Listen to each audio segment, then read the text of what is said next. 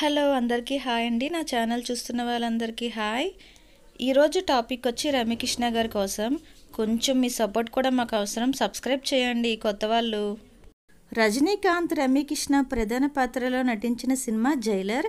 ఈ సినిమా ప్రచారంలో పాల్గొన్న రమ్యకృష్ణ నరసింహ రోజులను గుర్తు చేసుకుంది. వెండితెరపై కనిపించిన కొన్ని జోడీలను ఎప్పటికీ మర్చిపోలేం. అలాంటి ఒక జోడీనే రజనీకాంత్ రమ్యకృష్ణలది. పంతొమ్మిది వందల తొంభై తొమ్మిదిలో వచ్చిన నరసింహ సినిమాలో వీళ్ళిద్దరూ కలిసి కనిపించారు. ఇప్పుడు మళ్ళీ ఇరవై నాలుగేళ్ళ తర్వాత జైలర్లో కనిపించనున్నారు. నెల్సన్ దిలీప్ కుమార్ దర్శకత్వం వహించిన ఈ సినిమా ఆగస్టు పదిన విడుదల కానుంది. ఈ మూవీ ప్రచారం రమ్యకృష్ణ మాట్లాడుతూ నరసింహ సంగతులను గుర్తు చేసుకున్నారు.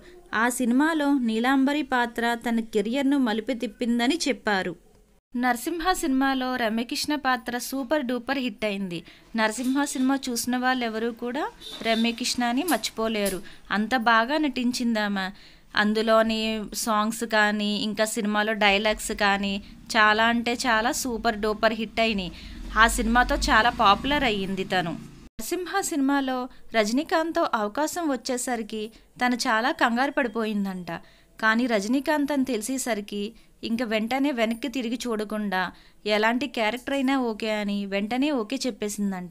రజనీకాంత్తో తను చేయడానికి చాలా ఆసక్తి చూపించింది తను. ఎందుకంటే రజనీకాంత్ సూపర్ డూపర్ స్టార్ కదా. అందుకని తన చాలా ఆసక్తి చూపించింది. నరసింహలో అవకాశం వచ్చినప్పుడు మొదటి హీరోయిన్న రెండో హీరోయిన్న ఇలా ఏం ఆలోచించలేదు రమ్యకృష్ణ గారు. రజనీకాంత్ సినిమాలో నేను భాగం కావాలనుకున్నాను. అందుకే వెంటనే ఓకే చెప్పేశాను. నా జీవితంలో నేను తీసుకున్న అత్యుత్తమ నిర్ణయం ఇదే.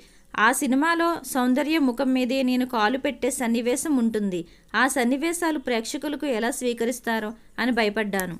కానీ నరసింహ సినిమాలో రమ్యకృష్ణ పాత్రను అందరూ ప్రేక్షకులందరూ కూడా చాలా ప్రేమతో స్వీకరించారు. తన నటనకి జై కొట్టారు. రమ్యకృష్ణను చూసి చాలామంది ఈమె ఇంత బాగా నటిస్తాదా? అని ఆశ్చర్యపడేలాగా చాలా బాగా అందులో నటించింది. నరసింహ సినిమాకి రమ్యకృష్ణ గారు అవార్డు కూడా అందుకున్నారు. తన నటనకి చాలామంది ఫ్యాన్స్ అయిపోయారు. రజనీకాంత్కి రమ్యకృష్ణ గారికి అందులో మధ్య జరిగే ఘర్షణ చూడ్డానికి చాలామంది మళ్ళీ మళ్ళీ ఆ సినిమా చూశారు. ఆ కాలంలో అంత సూపర్ డూపర్ హిట్ అయింది. రమ్యకృష్ణ రజనీకాంత్ జోడీ కూడా సూపర్ డూపర్ హిట్ అయింది.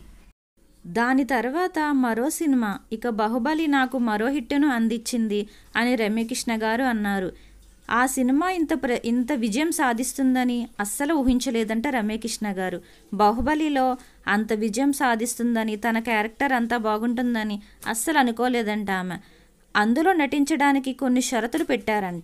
రాత్రిపూట షూటింగ్ చెయ్యను అని కొద్ది రోజులు మాత్రమే సమయం ఇస్తానని ఇలాంటి వాటినన్నింటికి కూడా రాజమౌళి గారు అంగీకరించారంట. బాహుబలి సినిమాలో రమ్యకృష్ణ గారికి సీనియర్ నటి కావడంతో అందరూ బాగా రెస్పెక్ట్ ఇచ్చారు. అలాగే రమ్యకృష్ణ గారు చిరంజీవి రజనీకాంతుల గురించి మాట్లాడుతూ కొద్దిమంది మాత్రమే అలాంటి స్టార్డమ్ను సొంతం చేసుకోగలరని అన్నారు.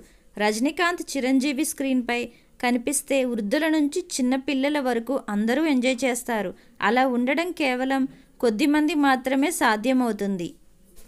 ఏదైనా పార్టీ జరిగినప్పుడు కూడా కొంతమందిని ఆకట్టుకోవడమే కష్టం. అలాంటిది వీళ్ళు లక్షలాది మందిని ఆకర్షిస్తారు. ఇలా చేయడానికి ఎలాంటి లాజిక్ ఉండదు. భవిష్యత్తులో ఇలాంటి స్టార్లు వస్తారో లేదో నాకు తెలీదు. చిరంజీవి రజనీకాంత్ గారు చాలా చాలా బాగా నటిస్తారు. రమేకృష్ణ గారు చిరంజీవి రజనీకాంతులతో సూపర్ డూపర్ హిట్ సినిమాలు చాలా వరకు నటించారు. అవి చాలా వరకు కూడా సూపర్ డూపర్ హిట్ అయ్యాయి. చాలామంది ప్రేక్షకులను ఆకట్టుకున్నాయి సినిమాలు. ఒకవేళ కొత్త హీరోలు వచ్చినా చిరంజీవి రజనీకాంతుల వాళ్ళింత ఇంతగా సుదీర్ఘకాలం స్టార్డమ్ను కొనసాగిస్తారో లేదో చెప్పలేను. ఎందుకంటే చిరంజీవి రజనీకాంత్కి అంత క్రేజ్ ఉంది. వాళ్ళలాగా ఎవరూ నటించలేరు అని రమ్యకృష్ణ గారు చెప్పారు. ఇంటర్వ్యూలో రమ్యకృష్ణ గారు ఇలా చెప్పడం జరిగింది. తన పాత జ్ఞాపకాలన్నింటినీ గుర్తు చేసుకున్నారు. ఇలా కొన్ని సినిమాల కోసం ఇలా అందరితో మాట్లాడారు. Thank you for watching. Ramyakrishna గారు ఎవరైతే ఇష్టమున్నారో వాళ్ళందరూ కూడా ఒక లైక్ కొట్టండి. Thank you for watching.